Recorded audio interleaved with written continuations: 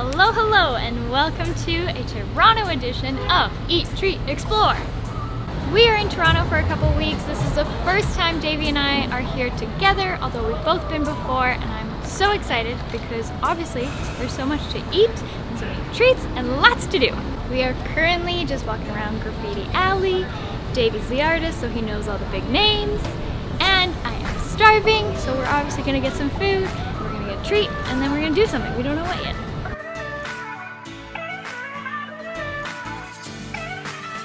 We're here at La Carnita. Our good friend Sebell suggested it. Thank you, Sebell. If you don't know Sebell, you gotta check out his music because he's awesome. But it's a good taco place be here. So let's go get some tacos.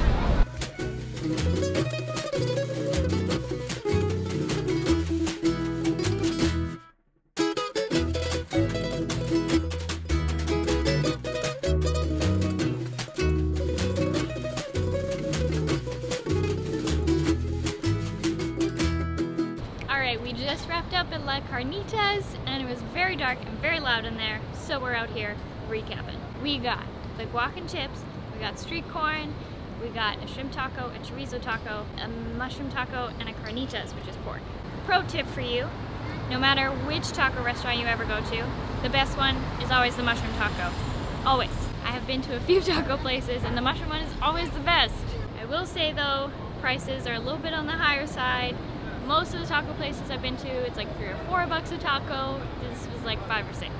Also, somehow we did not come here on Taco Tuesday, but they got a Taco Tuesday deal. You get eight hard shell tacos, you get chorizo, and you get all the sides, and I don't mean fries, you get guac, crema, salsa, cabbage, those kind of things. So if you've never been to Toronto, it is basically just a slightly quieter, slightly less insane, slightly cleaner version of New York. Take me out to the ball game. Take me out to the crowd. We are gonna go see the Blue Jays play the Texas Rangers.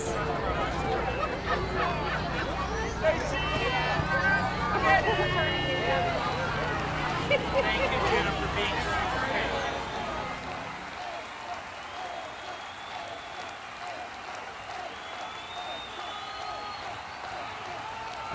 I've got my Tim Hortons like a good Canadian, and I've got a loonie hot dog because apparently on the first home game on a Tuesday of every month, they've got loonie hot dogs. So, steal a deal. Now I just need my Cracker Jacks and peanuts, I think.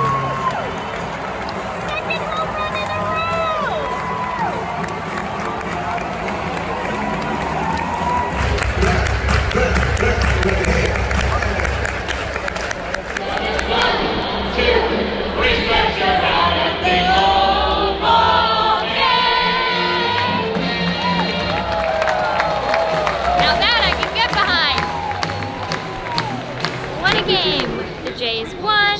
There were home runs. I learned a new song. We had snacks. Can't lose. We've seen some people walking around some crazy looking ice cream, so we're following the trail because it's time for a sweet treat. So sweet Jesus, we found the treat. Literally.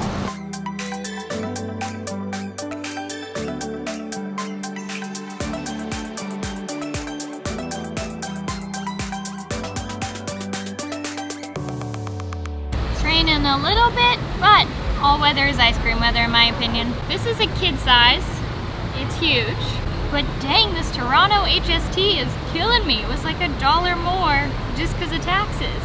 I got the red velvet. It's got red velvet cake, cream cheese icing, which is like the best thing ever. And I just got a regular cone because who cares? but it looks amazing.